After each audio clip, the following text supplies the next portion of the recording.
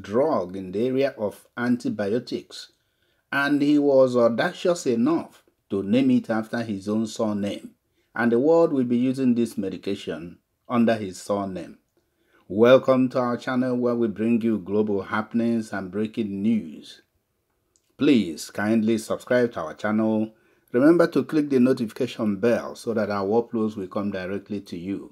Let's lead you into this global breaking event. So he is based in America and he studied in Nigeria before leaving and he is involved in microbiologic uh, biology research and he invented a medication that will work in the field of antibiotics and he named it after himself. So his name is Dr. Anieto and he has a research background focusing on bioenergy, antimicrobial resistance, food microbiology, bioinformatics, food safety, antibiotics, and the rest of them. And he is an associate professor in microbiology at Texas A&M University in the United States. And he has invented a device that will save millions of lives. He is the inventor of anietocin. Be mindful of the name anietocin, which comes from his own name, Anieto an antibiotic that will be used to treat antibiotic resistance microbial infections. And the new drug is completely named after his Nigerian family roots. According to the University uh, Texas A&M, the rapid emergence of antibiotic resistance bacteria is occurring worldwide, endangering the efficacy of antibiotics, which have transformed medicine and saved millions of lives. The antibiotic resistance crisis has been attributed to the misuse of these medications, as well as the lack of new drug development efforts. So basically, we know that some people, when they use antibiotics after over time, uh, there's kind of resistance. Now, when they take antibiotics, it doesn't work um, anymore. So it has been an issue, and now this Nigerian man has come up with a solution that will solve this problem so that the body can continue to utilize antibiotics when it's applied or when one takes it. So, Dr. Anieto strongly believes that pharmaceutical companies can utilize this bacterium and maximize its effectiveness to treat prevailing bacterial infections in patients. His team is currently improving the chemical extraction process of this novel antibiotic and understanding the metabolomics of the bacterium to address large-scale manufacturing opportunities. He was born in Onitsha in Anambra State, and Dr. Anieto attended Dennis Memorial Grammar School and St. Charles Special Science School, both in Onitsha. And for his tertiary education, he gained admission into Nnamdi Azikiwe University in Awka, where he got a Bachelor of Science in Applied Microbiology. After his one-year compulsory National Youth Service Corps in Niger State, he joined UAC Foods in Lagos. Lured by further academic qualifications, he resigned from UAC and returned to Azikiwe University to pursue a master's degree in food microbiology.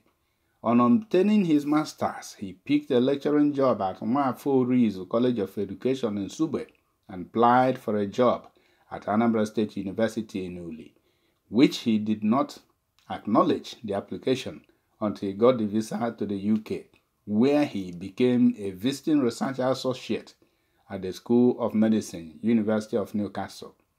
From the United Kingdom, Dr. Neto moved to the United States, where he obtained his PhD in molecular biology from the University of North Texas, Denton. He became graduate teaching assistant in general microbiology at the University of North Texas in 2016 to 2019. He taught online courses on environmental conservation and other assigned courses. He joined the College of Science of Texas A&M University Higher Education Center in August 2018.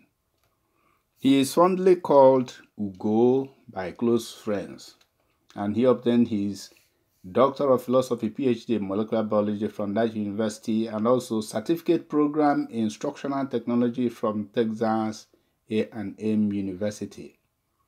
Before he became an instructional assistant professor at Texas A&M University, he was a visiting research associate at the University of Newcastle upon Tyne in the United Kingdom, and he relocated to the US where he worked as a graduate teaching assistant at the General Microbiology University of North Texas in Denton. All right, so this is a brief uh, biography of this guy, and um, he did well for himself. I must uh, commend him it is audacious when you discover something like this that you name it after yourself. There's no inferiority complex involved. And some of us do not actually know that most of the things we use are named after the people who discovered them or who invented them or who started their production or manufacturing. And we use them, we sing these names every day without knowing. We in Nigeria here, we are used to Toyota cars is a man's name. Is uh, Mr. Toyota in um, from Japan. Suzuki is named after somebody. Yamaha, Hyundai, all those things that we use every day. They are named after human beings. Hewlett Packard that we use and the rest of them. So why not? If you are able to discover it, name it after yourself. Let the world use it. You can give it any name. The important thing is that it serves the purpose for which it is meant. We know of um, a car brand in Nigeria, and the man was smart enough to copy the Japanese and the Americans. After all, we have Ford. Ford is from a family name, the Ford family. So this guy started his own vehicle manufacturing, and they called it Innoson, IVM. Yes, his name is Innocent Chukwuma and he gave it innocent. The Dangotes we use their cement, and we are calling Dangote cement. Sometimes you even forget that is some a human being's name that you are calling. But this one is rather on a global scale, you know. Being in the United States, discovering it there, he took his uh, local name, Anieto, and he became Anietocin. So, I don't care what the name is. If Anietocin will solve my problem if I have any issue with antibiotics. Why not? The, the, the, the, the more Nigerian the name is, is even the sweeter. So it gives me confidence and gives us, um, I mean, we glorify that, yes, he's one of, our, of us. So that's what is uh, happening. That's Dr. Anieto from Anambra State. Did a lot of studies in Nigeria locally in Anambra State, in Unizik, went to the United Kingdom, Newcastle upon Tyne. From there, he moved to the United States, uh, Texas A&M University, and uh, here we are. He has done well for himself and um, brought glory to Nigeria. Thank you for tuning in. If you like this story, please share it with your friends. Remember to subscribe and click on the notification bell. See you in our next video.